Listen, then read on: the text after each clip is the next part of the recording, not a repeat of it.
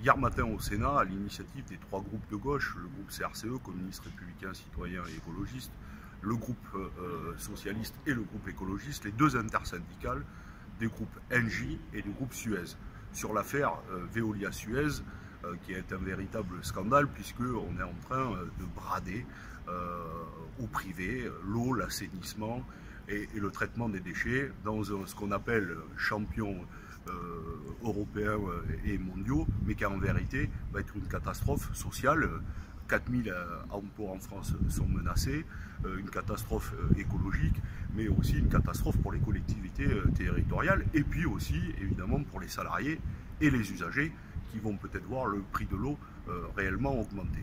La véritable question qu'il faut se poser, c'est celui de bien commun. On l'a vu pendant la crise, l'eau, l'assainissement et les déchets euh, on continue à travailler. Les salariés ont été en première ligne dans cette crise, comme le personnel hospitalier et tant d'autres dans le privé. Il faut donc se poser la question des biens communs de l'humanité, euh, et à savoir que l'eau euh, doit être accessible à toutes et tous et que les salariés doivent être sous statut.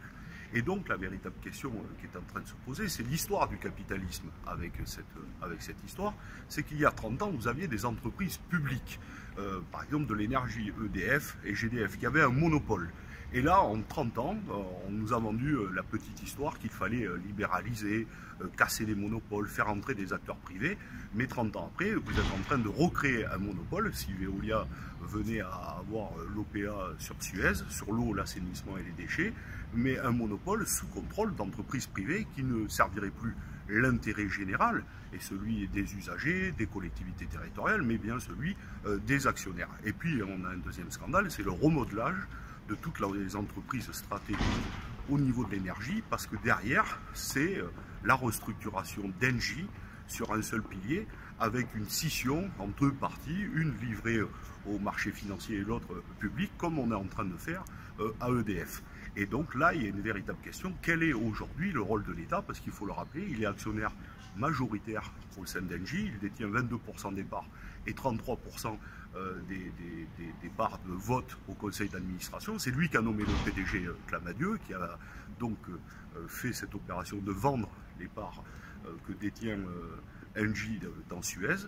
Et donc là, est-ce que l'État peut être, doit être régulateur? Et on a une véritable question, c'est qu'il y a deux ans, on a voté la loi Pacte et il y avait continué à vendre des, parts d'Engie. Nous, nous avions alerté à l'époque le CRCE sur la vente des parts d'Engie parce qu'il y a des choses d'avenir, notamment la transition écologique, sur les questions d'environnement, euh, d'énergie, et il faut que l'État puisse être un puissant régulateur si elle veut pouvoir être à la manœuvre. Parce que si vous livrez tout au marché financier, je le répète, ils ne serviront pas l'intérêt général, la transition énergétique, la transition écologique, mais ils serviront les intérêts financiers.